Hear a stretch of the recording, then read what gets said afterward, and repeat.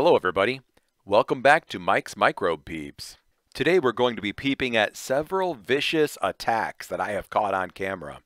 The first little monster that we're going to be talking about is Lacrymaria olor. Here you can see one inhabiting the empty carcass of a dead water flea. Check out how far he can stretch his neck while probing around for a victim. Oh look, a victim. Did you see that?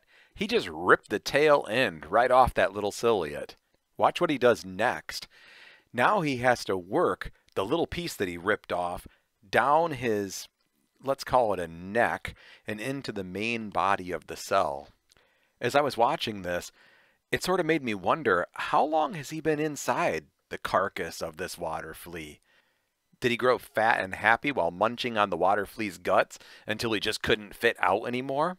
Or is he using the carcass as sort of a shelter, a defense from any threats from the outside? Whatever the reason he's in there, let's agree it's a cool sight, and let's just move on to our next predator. Our next little killer was once called Dileptus anser. It has this long trunk-like appendage that it flails around while searching for prey. Watch what happens when it finds one.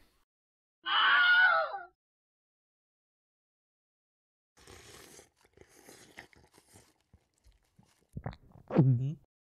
He just sucked that thing down like a barbecue meatball.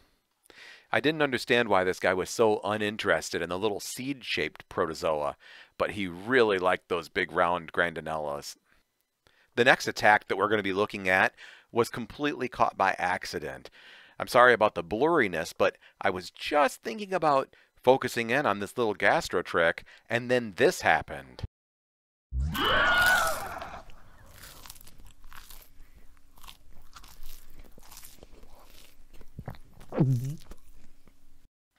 The cute little furry guy got eaten by some sort of flatworm.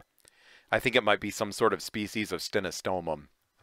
Some have said it looks like a microscopic version of a crocodile, and I can't say that I really disagree with them. I mean, look at this thing. I'm sure glad they're on the microscopic scale and not something that I have to be worried about. Okay, our next little hungry guy is a euplotes, and he's really an interesting looking one.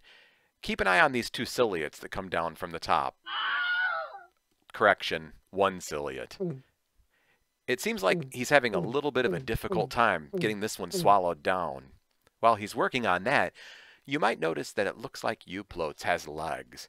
Well, those aren't legs, those are called cirri, and cirri are thick tufts of cilia that they can actually use to crawl along the bottom. There you go, you got that thing down, little guy. Our next little beast is both a little bit frightening and super beautiful. Watch this.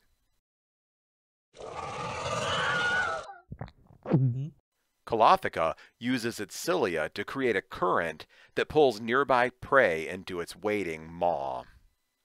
I hope you've enjoyed our little safari today.